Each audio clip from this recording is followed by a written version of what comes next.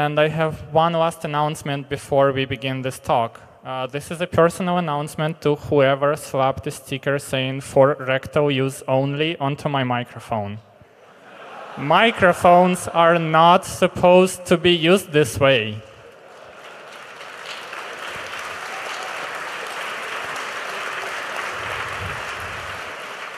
Please trust me, I am very familiar with microphones. I know how they are supposed to be used. However, our next speaker is going to tell you about things that are supposed to be used this way and about how to secure and protect those things. So please welcome Vione and the talk you all came here to see, Internet of Dongs. So, willkommen aus der Übersetzerkabine von Kathi und Kaste. Wir übersetzen heute diesen Vortrag Internet der Dinger. Wir haben es liebevoll so genannt für euch und wir hoffen, dass ihr einen fantastischen Abend habt. Ja, hallo, mein Name ist Werner. Ich arbeite für SecConsult äh, als Security Consultant.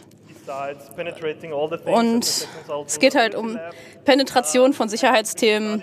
Ich habe Informatik studiert in den letzten fünf Jahren und äh, ich war, war an der Uni an St. Pölten. Und ungefähr ein Jahr, vor einem Jahr, habe ich eine große Herausforderung gehabt. Diese Herausforderung war, eine, ein Thema für meine Masterarbeit auszusuchen. Tja, ihr könnt vielleicht nur wissen, es gibt ja so bestimmte vorgegebene Themen. Manche sind wirklich interessant. Ja, die, die meisten sind sehr schnell weg und man nimmt halt so die, man hat halt so die letzten langweiligen Themen über. Ich wollte mich nicht zu sehr, zu sehr stressen lassen und ich wollte mein eigenes Thema suchen. Und das erste, was ich gemacht habe, war, einen besseren Überblick zu kriegen und habe mir so ein bisschen geguckt, worüber die anderen Leute so schreiben. Und das hier sind die wirklich interessanten Themen. Bitcoin, GDPR, Cyber, Cyber, Cyber, DevOps, Management, Malware.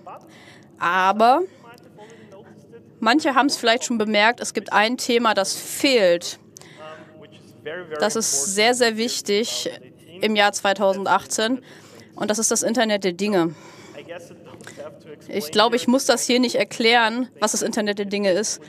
Es ist sozusagen die Verbindung aus allen Geräten, äh, die bisher noch analog waren und tatsächlich werden die auch noch übers Internet verbunden. Und ich dachte, vielleicht kann ich das Wissen von SecConsult äh, mit Pentesting kombinieren.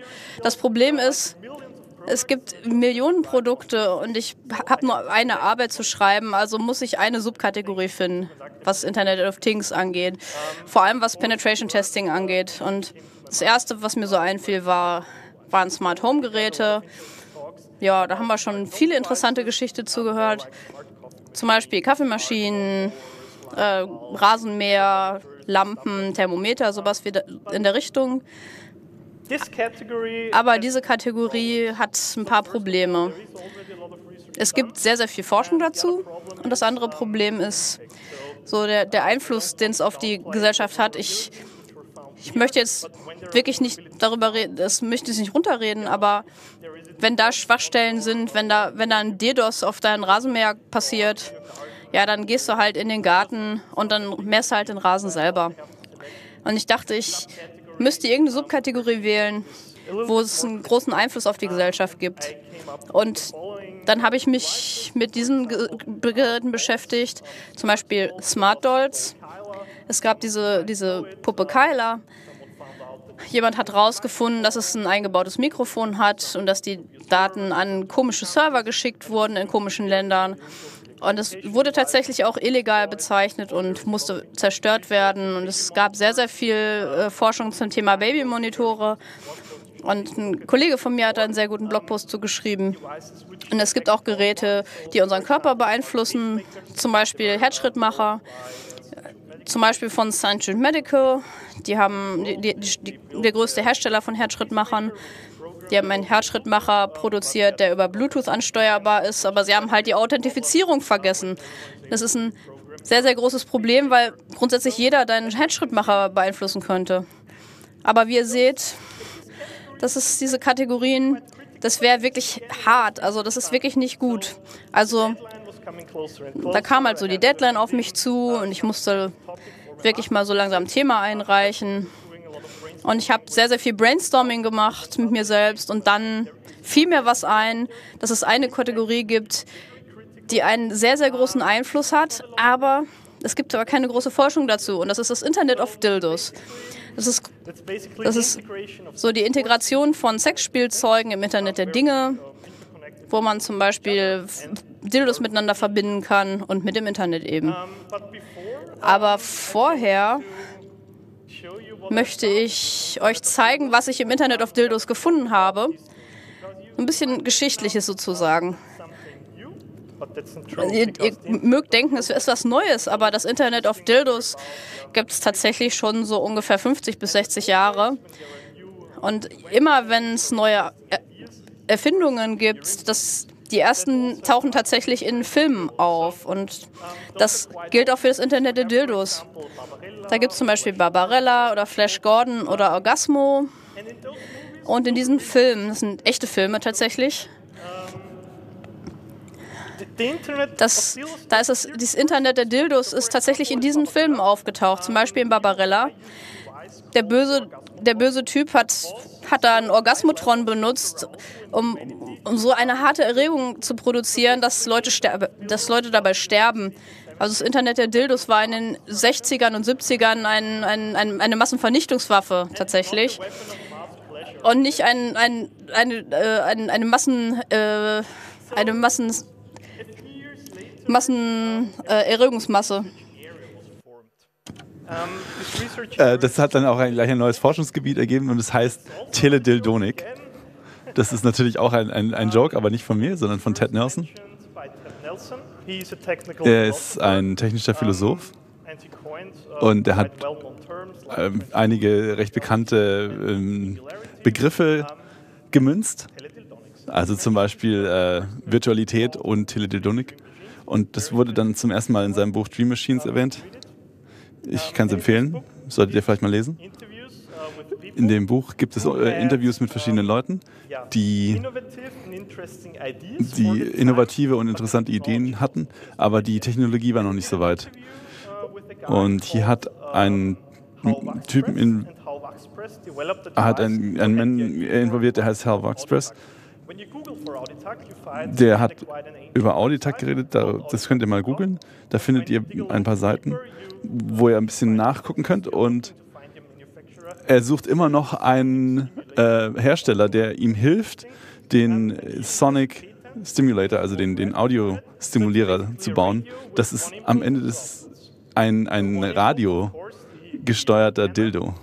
Der hat eine Antenne und ähm, ein, die, die in ein Radio gehen und von da aus gehen dann äh, zwei Ausgänge, einer für den Stimulator und einer für, den, äh, für, den, für das Headset.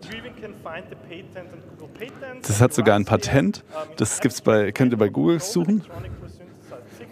Der, das geht darüber, dass man ähm, elektronisch synthetisierte Signale in, in, in Schallwellen umgewandelt werden, die dann direkt über, die äh, Haut äh, in die, in die Lebensform eingekoppelt werden. Und die Technologie war einfach noch nicht so weit in den 1970ern, aber im Jahr 2018 sind wir definitiv bereit dafür. Und deswegen wird es jetzt das Internet of Dildos geben, das wir jetzt auch testen können. Wir wollen jetzt, bevor wir jetzt uns äh, die Geräte genau anschauen, muss ich vorausschicken, ich möchte das so ernst wie möglich halten, diesen Vortrag. Ich ja, versuche die Innuendos pro Minute möglichst niedrig zu halten und möglichst wenig Anspielungen zu machen. So, jetzt reden wir über die Testgeräte. Ich habe drei ausgesucht. Auf der rechten Seite haben wir den, den Vibratissimo Panty Buster, also den äh, Höschensprenger. In der Mitte haben wir den Magic Motion Flamingo, also den magische Bewegungsflamingo. Und auf der linken Seite haben wir den Vibratissimo.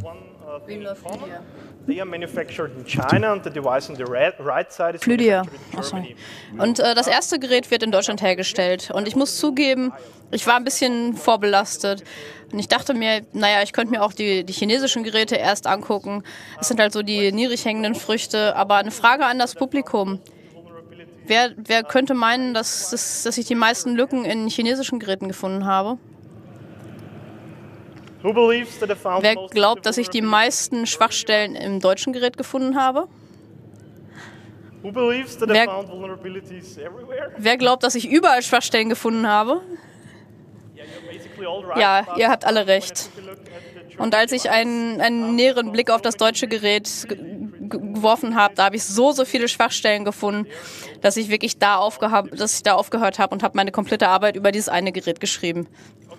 Ja, also der Pantybuster, ist ein Produkt, ein Produkt einer kompletten Serie von Produkten, aber es war der günstigste davon.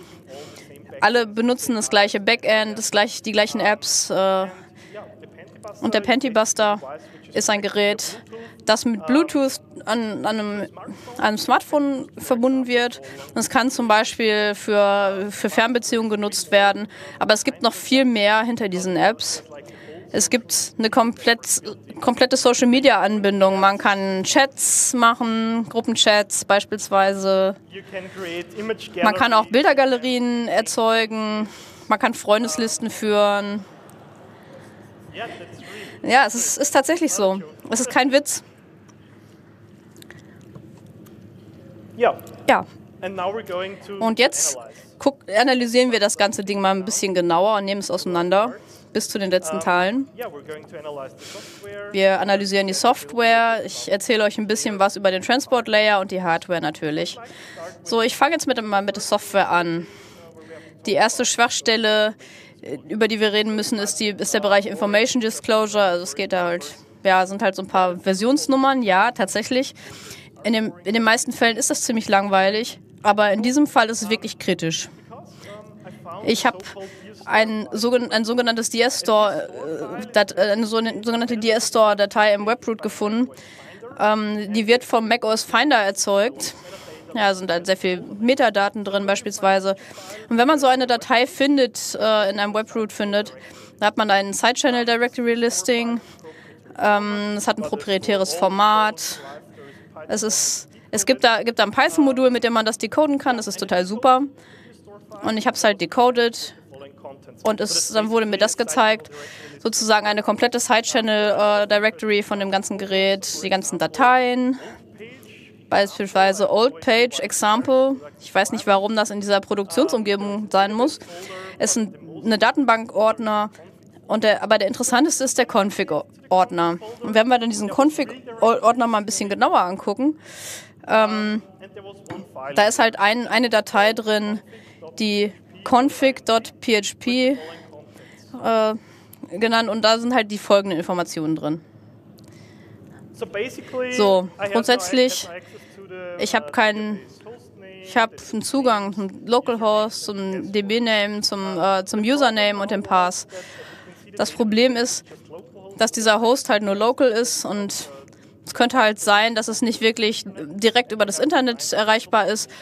Und dann muss man halt ein entsprechendes Interface dafür finden. Natürlich, es ist das erste, was ich gemacht habe, habe ich einen Portscan gemacht.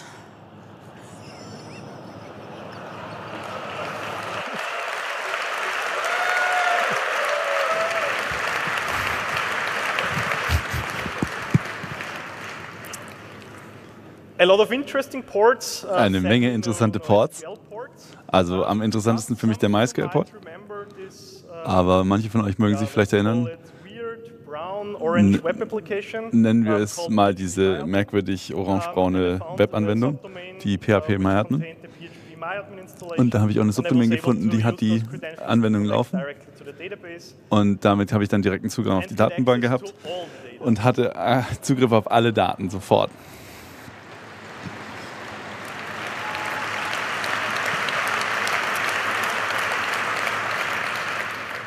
So im Prinzip hatte ich jetzt auf alle äh, echt äh, Realitätsdaten, also auf alle Adressen der Mitglieder Zugriff, auf alle äh, Galerien, auf die Bilder, auf Nachrichten, auf alles. Und die Passwörter waren auch noch im Klartext, sodass äh, das ist wirklich bitter im, im 21. Jahrhundert. Da war nicht mehr viel weiter nötig. Ich hatte schon alles in der Hand. Im, Im realen Leben sind in, der Zeit gerade mal 30 Minuten vergangen und ich hatte schon vollen Zugriff. Und ich wollte das möglichst schnell aufschreiben und zu dem deutschen Zertbund abschicken. Und dann nach einer Stunde habe ich einen wirklich interessanten äh, Anruf bekommen und sie haben schon den, ähm, den Hersteller äh, angerufen und sie wollen das Problem beheben. Und jetzt hatte ich immer noch das Problem, dass ich meine Master-Abschlussarbeit äh, schreiben muss. Und jetzt musste ich noch ein paar mehr Seiten schreiben, deswegen musste ich noch ein bisschen mehr finden und habe natürlich weiter geforscht und habe auch was gefunden. Und jetzt möchte ich über unsichere direkte Objektzugriffe reden. Das ist am Ende immer eine, eine äh, Vulnerability, die auf zwei Unterproblemen oder zwei Teilproblemen beruht. Das heißt, normalerweise ist es so, dass es umbenannt wird von einem Bekannten in einen, in einen zufälligen String. Der sollte nicht ratbar sein. Und das Zweite ist, dass man immer noch Authentifizierungsprüfungen hat. Das heißt, selbst wenn man die die äh, zufälligen Identifizierer raten kann, dann sollte es immer noch ein, eine Zugriffsprüfung geben, die verhindert, dass man das dann runterladen kann danach. In dem Fall es war relativ äh, einfach, die äh, Identifizierer zu raten und es gab auch keinerlei Zugriffsschutz darauf. Das, das musste ich dann auch leider auf die harte Tour lernen. Es gibt ein Feature in diesen Smartphone-Apps, die heißt äh, Galerien, also da kann man Galerien von Bildern anlegen. Die äh, haben auch verschiedene Zugriffskategorien. Jeder kann es sehen, nur deine Freunde können es sehen oder du selber. Und man kann dann auch ein Passwort dafür vergeben. Und nur für einen Test habe ich eine Galerie angelegt mit äh, Katzen und habe den Request hier abgebildet, den ich dafür brauche muss man, äh, hinten ist die ID angegeben von der Galerie. Und dann habe ich einfach mal die ID hinten geändert und dann habe ich prompt eine andere, äh, Kategor äh, eine andere Galerie gefunden und auch eine, ein Penisbild gefunden. Und das ist relativ simpel, weil jedes Bild wird auf dem Server mit einer globalen ID vergeben, also das ist einfach umbenannt. Und die ID wird einfach nur hochgezählt. Und es gibt auch keinerlei Authentifizierungsprüfungen das wird einfach nur abgelegt und es gibt's auch, äh, interessiert auch keinen, ob da irgendwie Passwörter drauf sind oder Visibility oder so. Ja, so, die nächste äh, Schwachstelle, die ich gefunden habe, habe ich genannt äh, unzulässige Authentifizierung. Jetzt gibt es natürlich viele verschiedene Möglichkeiten, Authentifizierungen zu implementieren. Äh, die sind dann halt entweder gut, schlecht oder in dem Fall einfach nur merkwürdig. Macht keinen Sinn es ist so ein bisschen wie HTTP Basic, aber einfach noch ein bisschen schlechter. Also normal ist es so, ich schicke normalerweise einen Usernamen und ein Passwort zum Server und wenn das Passwort stimmt, dann kriege ich üblicherweise ein, ein, eine Information, die geheim ist und die die Authentifizierung macht, also zum Beispiel ein Cookie oder ein, ein äh, Token. Aber in diesem Fall war es so, dass jeder Request einfach Username und Passwort im Klartext immer mit übertragen hat. Das ist wirklich einfach nur schräg. Also wenn dein Passwort kompromittiert ist, dann heißt es auch, dass du deinen Usernamen ändern musst in Zukunft. Weil sonst ist es einfach immer noch kaputt. So, die nächste Schwachstelle äh, nenne ich mal äh, äh, Vergnügen auf die Distanz. Es gibt ein Feature in diesen Apps, da kann ich ähm, Fernsteuerungslinks per SMS oder E-Mail verschicken und jeder, der diesen Zugriff auf diese Links hat, der kann ohne extra Authentifizierung und ohne Bestätigung die Geräte fernsteuern. Jetzt schauen wir uns mal diesen Button an. Der, der hat einen, in dieser E-Mail gibt es einen Button, der heißt Quick Control. Und da gibt es natürlich wieder eine ID. Um, yeah. The thing is, yeah, it's just a global counter again. Es ist einfach wieder nur ein, ein globale ID. Das heißt, er kann einfach die App runterladen, seinen eigenen Quick Control Link äh, erzeugen und dann die ID verändern, einfach eins runterzählen und danach einem beliebigen äh, Fremden im Internet Spaß beraten. Okay, I will show you guys a video now. Ich zeige euch jetzt ein Video, wo ich genau das mache. So when the video is going to start, it's going to start perfect. Um, on the right side, we're going to see an attacker device. Auf der rechten Seite werden wir ein, ein, Angreifsgerät, ein Angreifergerät sehen. Das ist einfach nur auf dem Netzwerk verbunden. Es erzeugt einfach einen Link und äh, wird die, die ID runterzählen. Und auf der linken Seite sieht man auch ein, ein Smartphone mit Verbindung zu dem Smart Sex Toy. Das ist jetzt das Angreifergerät links und das rechte ist das Opfer. So, jetzt in ein paar Sekunden, das ist einfach nur das, was ich erklärt habe.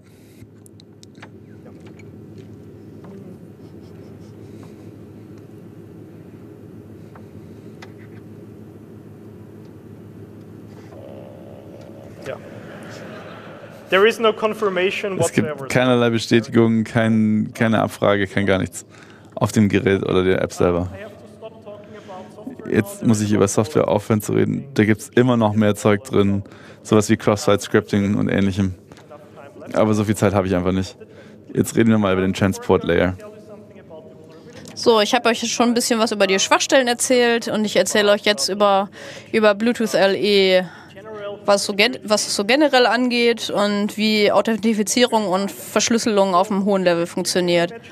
Man kann es euch vielleicht vorstellen, dass Bluetooth LE ähm, wie eine Web-API funktioniert. Das ist eine sehr, sehr hochge hochgestellte. Es gibt halt API-Endpunkte und es gibt Eigenschaften, ähm, den Gerätenamen beispielsweise. Und er kann halt gelesen werden und geschrieben werden. Und es gibt auch ein paar andere Charakteristika, die sehr wichtig sind, wenn es um Remote Pleasure 2.0 geht. Also es ist ein, eine sehr, sehr kurze Erklärung, Erklärung, wir haben aber nicht wirklich viel mehr Zeit. Mal ein paar Grundlagen, was die Sicherheit angeht. Bluetooth LE nutzt AES CCM, das ist Counter CBC auf dem Mac. Es wird für sicher gehalten, aber wie wir alle wissen, Sicherheit ist halt auch immer eine Frage des Key Exchanges und äh, bei Bluetooth LE werden, werden Keys halt beim Pairing gemacht. Bei Bluetooth LE haben wir halt verschiedene Varianten des Pairing. Ähm, wo wir einfach Packets in die Gegend schmeißen und irgendein Gerät, was in der, in der Umgebung ist, macht halt was mit diesen Paketen. Wir haben Just Works, wir haben Out-of-Band Pairing, Passkey und Numeric Comparison, also äh, num numerische, äh, numerischen Vergleich. Also ihr kennt dies zum Beispiel, wo man Nummer, ein, Nummer eingeben muss, um Geräte zu, zu paaren. Und es ist halt, ja, okay, es ist dein Gerät. Wir haben Out-of-Band Pairing. Äh, wo beispielsweise wie beim Kopfhörer, bei NFC und es gibt JustWorks. Tja, das, das kann halt gebruteforced werden. Ähm, es funktioniert halt einfach. Ähm, und äh, diese, diese fünf Varianten, was denkt ihr, was, was, was, was nutzt dieses Sextoy No Pairing? Also nutzt es eine der anderen Varianten, mehr oder weniger sicher? Ja, es nutzt tatsächlich kein Pairing. Echt so, ja. Und werden halt einfach Packets geschmissen und das Gerät, was, was in der Umgebung ist, das macht dann einfach was damit und man hat Spaß. Ja, das ist tatsächlich, das kann man sehr schnell knacken. Man kann einfach sniffen und das habe ich gemacht. Ich habe den Bluefruit LE Sniffer benutzt. Der funktioniert echt gut dazu. Und ich habe es halt zwischen das Sextoy und die Smartphone-App gesetzt. Und ich habe da halt ein bisschen mit gesnifft und habe so ein paar nette End Endpunkte gefunden. Und äh, es gibt den One-F-Handle. Es ist, ein, es ist wie, äh, wie eine Initialisierung und es gibt den Handle 25, wo es um wo es um die Vibrationsintensität geht des Gerätes. Tja, und jetzt geht es so ein bisschen um War-Dildoing, also sozusagen Kriegsdildoing. Ich habe ein kleines, ein, ein kleines Python-Skript geschrieben, ähm, das guckt halt nach Bluetooth-LE-Geräten in der Umgebung, dann versucht es, es versucht es mal rauszufinden, ist es ein Sextoy und wenn, wenn nicht, dann ja, irgendwann wird es dann angeschaltet. Dann wird es halt angeschaltet, genau. Und das nächste, worüber ich reden möchte, ist nicht so witzig, ehrlich gesagt. Aber so bitte nicht lachen, weil wir als, als, wir dies veröffentlicht haben, haben mich viele auf Twitter gefragt, ist es, ist es Vergewaltigung? Ganz ernsthaft. Nehmen wir mal an, da ist ein, ist ein, ist ein, ist ein, Mensch, ist ein Mensch, der dann eine Attacke fahren will und sitzt beispielsweise in der U-Bahn in Wien und der startet halt einfach so dieses, dieses Skript und äh, beglückt halt einfach Leute. Ist das, ist das Vergewaltigung? In Österreich haben wir, haben wir Vergewaltigung und, und, und sexuelle Belästigung. Ähm, und wir haben halt Gefährdung, äh, Ver Vergewaltigung und äh, Freiheitsberaubung, aber wir haben einen speziellen Paragraphen. Ist wirklich schwer zu überreden, äh, übersetzen, aber wir können es sagen, der Pograpsch-Paragraph. Deswegen habe ich jetzt auch mal diesen Begriff in der englischen Variante gewählt. Ähm, und laut diesem Paragraphen ist es halt ein ungewollter sexueller Akt über ein, über ein drittes Gerät sozusagen. Ist halt schwierig zu definieren. Ja, die Hardware. Tja, das größte Problem ist, dass Firmware-Updates nicht möglich sind. Das wurde bestätigt vom Hersteller. Das Problem ist, dass viele Schwachstellen sehr leicht gelöst werden, indem man ein Firmware-Update macht. Und der Hersteller hatte so diese Idee, man, man könnte ja als, als Nutzer dieses Sextoy da einschicken, um Firmware-Update zu machen. Aber ganz ehrlich, das macht doch wirklich niemand. Und das andere Problem, ja, es gibt halt keine Debug-Interfaces so wirklich. Also es gibt halt, es, es gibt halt serielle Interfaces und man kann da auch die Firmware rausziehen. Und dann kann man auch noch ein bisschen mehr Forschung mit der Firma anstellen. So, was kann man damit machen? Ja, ja ich möchte gerne Smart Sex Toys immer noch nutzen. Was kann ich tun? Naja, Alufolie funktioniert nicht wirklich, sind wir mal ehrlich.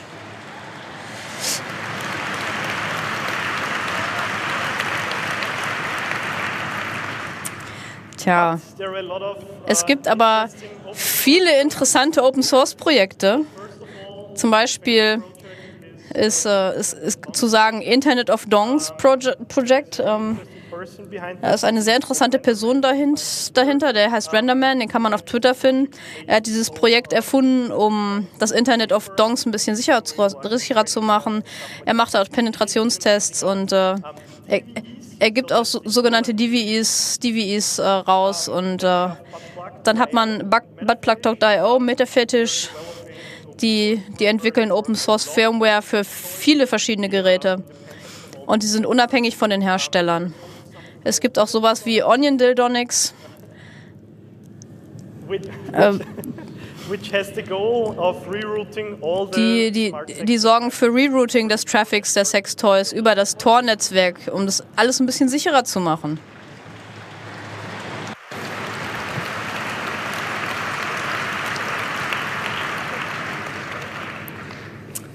Okay, there is one more thing. Einen habe ich noch. Ich habe viele Telefonate mit dem Hersteller geführt und dem Deutschen Zertbund. Und einer war besonders schön.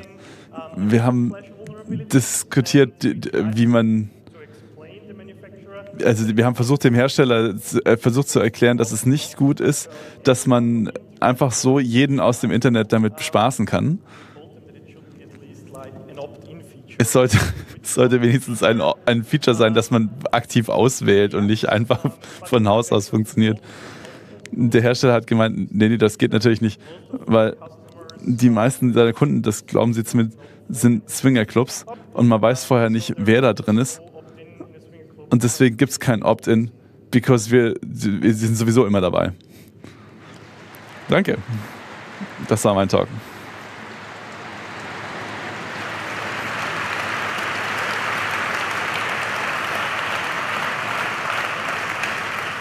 Thank you. That was very educational. Um, Danke, das war sehr informativ. Wer Fragen stellen will, jetzt im Twitter oder im, im IRC? Ask whatever you want. So apparently people on Twitter engaged in a drinking game where they were drinking. Anscheinend haben sie im Twitter ein, ein Trinkspiel gespielt. Jedes Mal, wenn er Penetration sagt, haben sie einen getrunken. In the meantime, we have a question from microphone number two. So, jetzt haben wir eine erste Frage. Haben, haben Sie schon mal irgendwie äh, Patentrolle und den Teledildonics gesehen? Wurden da Firmen irgendwie rausgeklagt deswegen? Ja, es gab tatsächlich etwas, das, äh, das war der Teledildonics Appreciation Day. Da ist halt das Patent abgelaufen. Also tatsächlich kann man den Begriff einfach benutzen, so viel man will. Thank you. Microphone number three, please. Um, so this was very funny, obviously. Das war natürlich sehr lustig.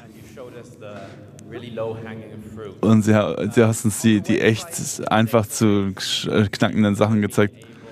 Aber hast du auch den sozialen Graph der Nutzer auf der Webseite gefunden? Hast du auch schon andere Geräte angeschaut? Und kannst du ein bisschen ausführen, was ich für schwieriger halte? Also zum Beispiel das, äh, das Profilen von Nutzervorlieben und so? Ja, tatsächlich habe ich jetzt nicht wirklich genauer an äh, Daten geguckt. Und ich habe tatsächlich den Hersteller kontaktiert, aber ich kann euch da keine Informationen geben. Aber ich habe einen Blick, Blick geworfen auf Tracking beispielsweise und in dem Fall, es war da nicht viel Tracking, äh, was das deutsche Sextoy angeht, aber wenn man das verglichen hat mit dem chinesischen Sextoy, da war sehr viel mehr Tracking. Aber es hat nicht wirklich einen sehr, ich habe nicht wirklich einen sehr detaillierten Blick drauf geworfen. Thank you again for the educational and entertaining talk. Danke nochmal für den interessanten Talk. Und hoffentlich eine, eine große Runde Applaus für dich.